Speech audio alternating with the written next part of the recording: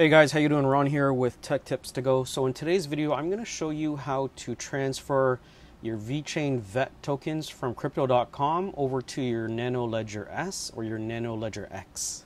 So let's get into the video. All right, so this is a special request for someone in the group. They were asking me, how do I transfer, you know, if I just purchase some cryptocurrency or some Bitcoin and I purchased it on Crypto.com and I have some VET, how do I transfer it securely and store it safely on my Nano Ledger S or my Nano Ledger X? So I did make a complete tutorial on how to get set up with your Nano Ledger S and how to use VeChain Sync. So in this video, you're going to need a couple of things. Obviously, you're going to need your Nano Ledger S or your Nano Ledger X. You're going to, well, obviously, you're going to have your Crypto.com account. Um, I'm going to show you this from my desktop. So I'm going to be doing everything from the desktop. I won't be using mobile phones. So I like to do this uh, more or less on my mobile phone, sorry, on my desktop, just so um, you know it's a lot easier than just doing it from your phone. Unless you you have something like Atomic Wallet, I really like Atomic Wallet, but I find it more safer when you have uh, Nano Ledger S or Nano Ledger X, because even if you lose your Nano Ledger S or your Nano Ledger X, um, you lose actual physical wallet, you could always restore it or have it backed up, etc. Uh, the only worry and concern that I have with Atomic Wallet is, let's say someone gets access to your phone, and um, you know you don't have everything stored securely or safely in terms of um, facial recognition, passcodes, etc. Email. Someone gets access to your phone, maybe they have access to your email while it's open, etc. So this is the reason why I like um, the Ledger S or the Nano Ledger X. So let's get into the video here. So we are on my desktop right now. So I'm going to be showing you this on my Mac. Now, what we want to do is look for VeChain Sync. So over, it's called Sync. So let's just look for S. So we're going to double click on that. Okay, so now what we're going to do is we are going to use the VeChain Manager. So you're going to click on the VeChain Manager. Let me just expand this window. So click on Manager. So the first thing you want to do, uh, as you can see, we can't log in unless you've got your Nano Ledger S hooked up into your micro USB, putting your, uh, I think it's like a six character code or seven character code. Once you have that, then you want to scroll to the left or the right until you see VeChain.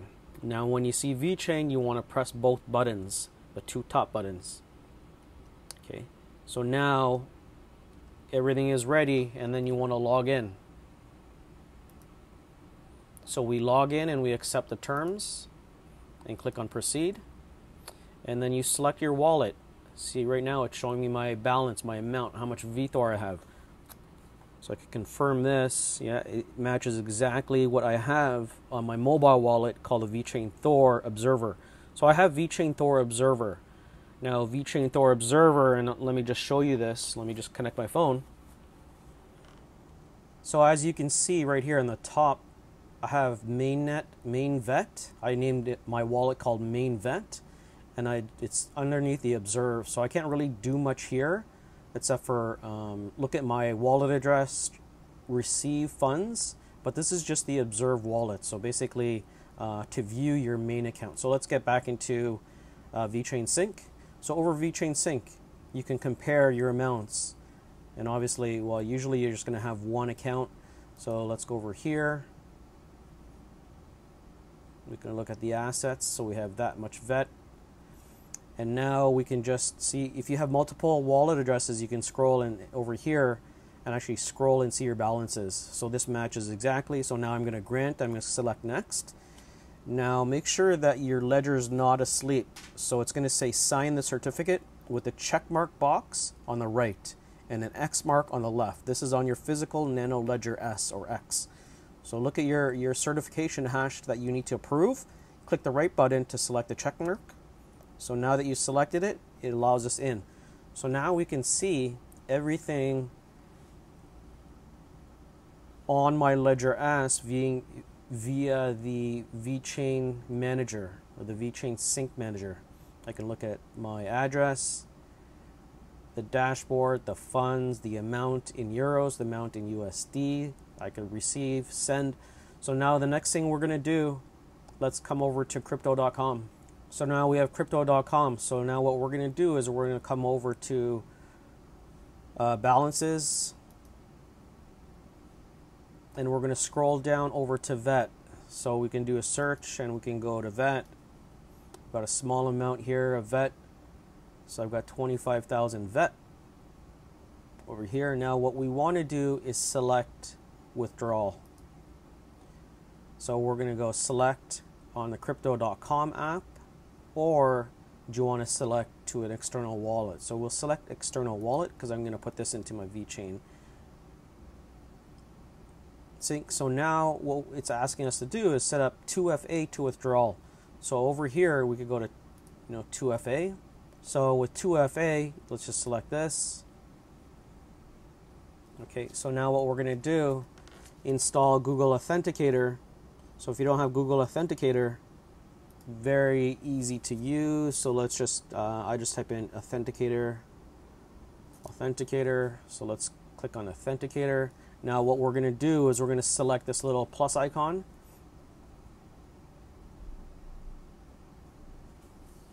Now we're going to scan barcode.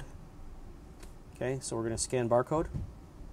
So now I'm going to scan that barcode, click scan barcode, and I'm actually going to put my phone and hover over it here. So now my authenticator, my 2FA is already selected and ready to go. So now we can actually put in our code once it refreshes. So let's put in our code.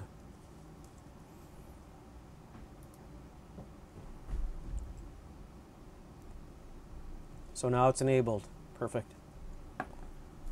So now what we can do is we could go to manage addresses. So now we could put in our VeChain um, wallet address. So let's add a wallet address. The coin we want to call it VET.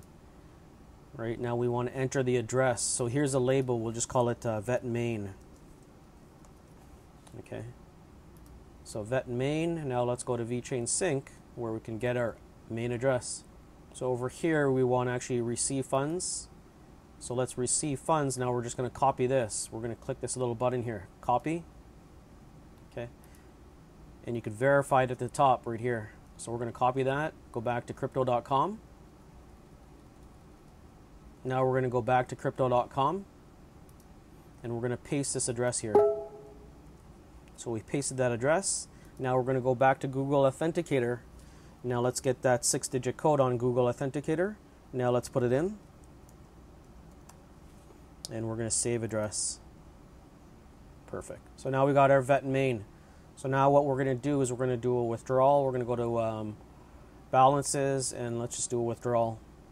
So let's go back up to vet or search for vet. Let's do a withdrawal.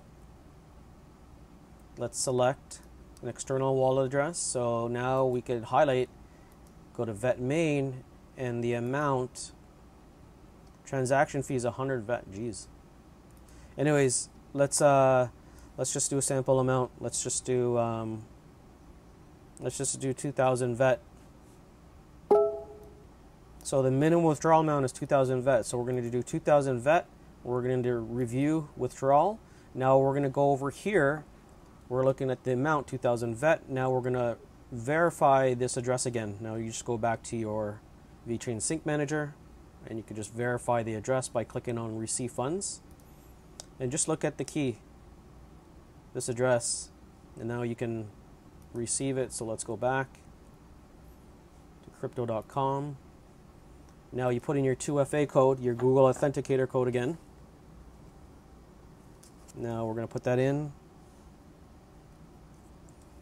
and we are going to confirm. So it says success.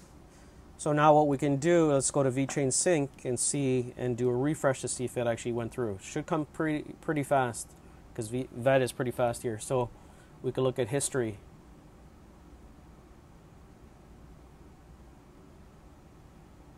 So over here we could actually look at you know the recent transfers. So I just did a refresh. I got a notification on my mobile phone. So that was good. I got a notification because of my VeChain Sync Manager was up and running. So I got that notification. So now I'm just going to go to my dashboard and let's take a look at the history here. So over here it says uh, received 1,900 vet because the vet transaction fee was 100 vet, so I got 1,900. So now I'm going to go back and I'm going to transfer all of the 23,900 left. So let's go back, let's go to crypto.com. Now it's just now that we know that address works, so 23,100, I'm going to do a withdrawal on the remaining balance. So I'm going to select external wallet. Let's go to our managed addresses. Now let's select the main and let's go withdrawal all. Let's review it. We know that it's good because we only have one address in there. So review withdrawal. It's going to cost one.